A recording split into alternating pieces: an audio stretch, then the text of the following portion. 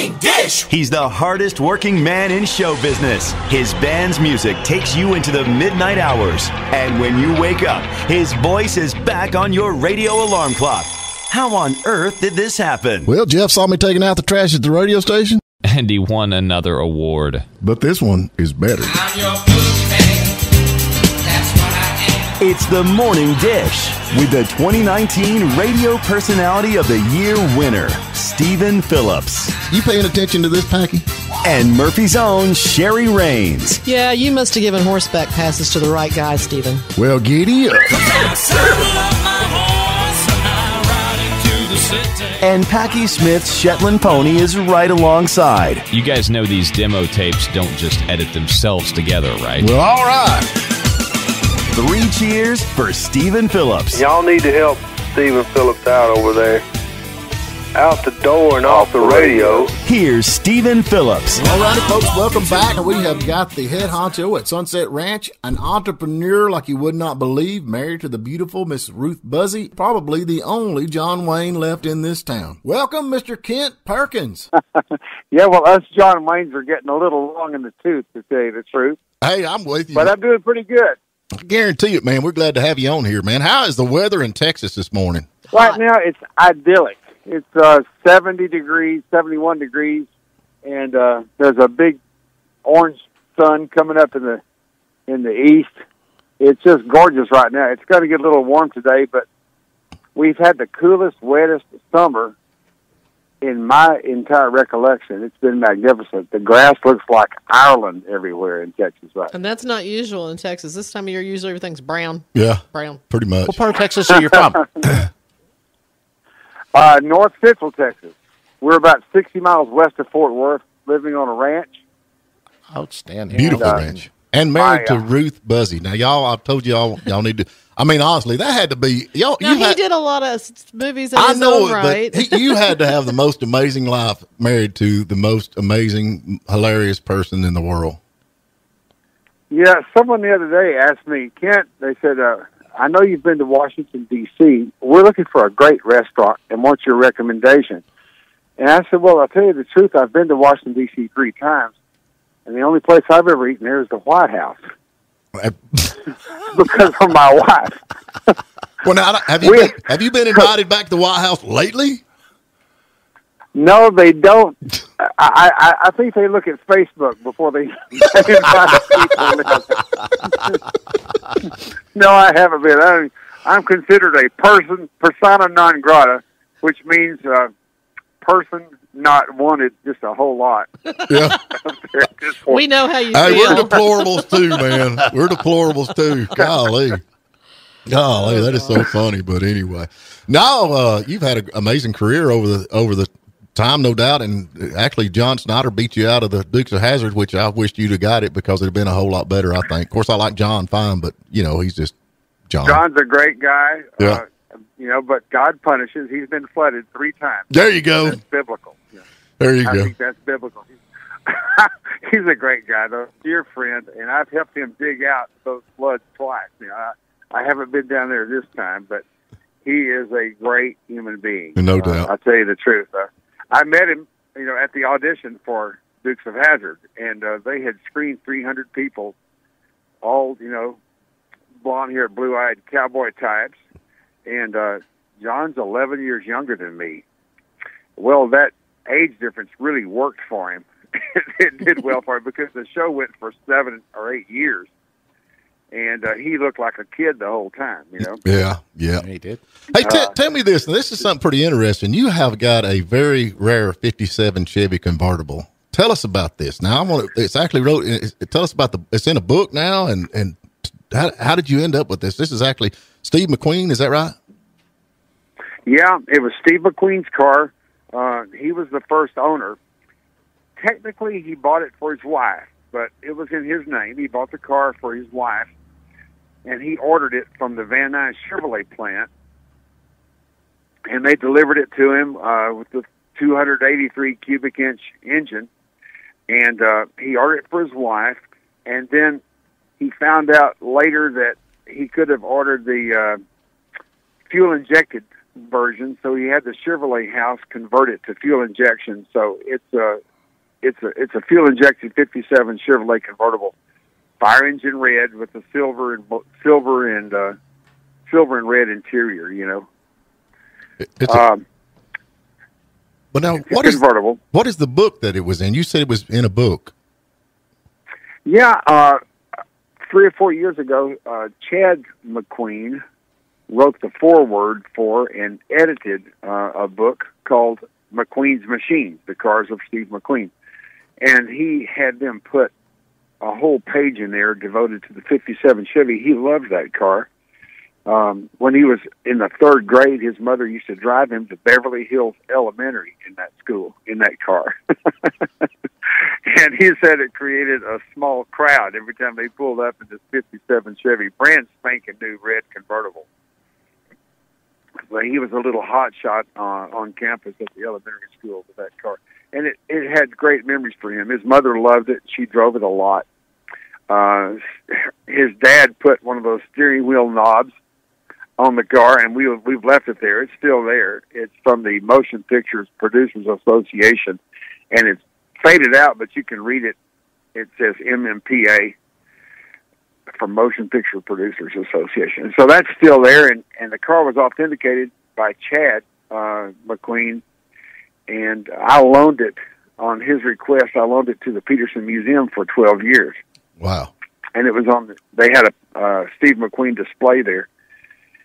So it was there for 12 years, but I moved to Texas, and uh, I decided I needed my car back. So uh, I sent for it one day, and they brought it here, and uh, happily ever after. I take it to little local car club meetings and things, but I don't really show cars. Right. Well, you've got a, Uh, quite a collection, man. You've got some beautiful stuff. There's no doubt. But that, Well, I I, I overbuilt. I built a 20 car garage. Have And to then fill I it. filled You it have up. to fill it up. yeah, fill it up. we So- kind of overbuilt for the neighborhood here.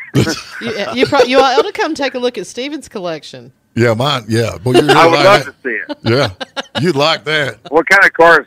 What kind of cars, Steve? Mostly do you- what rusty, like? Rusty, leaking oil. junk. I, I'm gonna be honest with you, man. I like big cars. I've got a couple of Corvettes and stuff, but my favorites are like the big Lincolns and that kind of stuff. That's what I like to ride around. I in. understand your neighbors would like you to move them off your lawn, though. Yeah, That's but anyway, yeah, I like the big cars. I- Yeah, if they could give you one more ticket for that car up on blocks, uh, I, you know what? There's, uh, old cars bring back good good memories. You know, the cars from the '60s and '70s they bring back great memories for us old folks. And I, I like big cars too. I have a uh, '75 Eldorado convertible. oh yeah, I've got a '69 Pontiac Bonneville 428 four barrel convertible. wow. uh, 65 Thunderbird convertible. I like old convertibles from the 60s and 70s. I do too. I used to. I've got a couple of convertibles, and I let the wind blow through my scalp. Now it used to be my hair, but now it's just my scalp. You know how that goes. Well, you shouldn't tell that. You know, these people picturing you, you've got this resonant voice, and they think, you know, this guy with wavy black hair. Yeah. You, know, uh, I don't. you shouldn't blow your image, you know. No, Remember, you, you, you're enjoying great protection there behind that microphone. I know it, but when they see me, they're like, they're like, you look like a bald headed Jack Nicholson. I said, well, yeah, pretty much. I'll tell you what, that's better than looking like a bald-headed Art Carney or a Oh, there you go. Don. A Don. Now you think you think is Ruthie's doing Ruthie's doing a lot of uh, she's doing a lot of resting and laying around and having fun and uh, riding around on the ranch with the dogs. We we uh, our entertainment mostly is just hanging around the house nowadays. You know, we're we're not uh, we're not out there like we once were right? doing stuff. Ah, it's a it's a crazy time, man. It's a crazy time. I it's just beyond belief. I don't know what the heck's going to happen. I really don't. Do you think Matthew McConaughey is he still running for governor? I haven't heard much about that lately. Uh, he's extremely popular. Uh, he's a real gentleman. I don't know him personally. We have mutual friends, but everybody that knows him really thinks highly of him. Um, I didn't know he was a Texan. Um, as far as I knew, he lived in New Orleans. I've seen his house, Right. right, right next to, right next to. Uh, well, it's, it's down there near Bourbon Street, Right. in, a, in, a, in a real pretty area, uh, mostly townhomes. I just, uh, I don't know if he, I, you know, of course, Texas, y'all are doing pretty good. If y'all pull out of the union, man, if y'all pull out of America, I'm, I'm, you're gonna wake up one morning, look out there, and you're gonna see a bald headed Jack Nicholson cleaning your pool. That's gonna be me. forgot I'm moving. I'll I'm tell moving. what. He's a little rounder than Jack Nicholson, Well, though, so it won't anyway. be you won't get Like, confused. where's this bald headed Jack Nicholson cleaning my pool? I'm like, hey Ken, it's me. Okay, well you can do, you can clean the pool, but if you're fat, no speedo.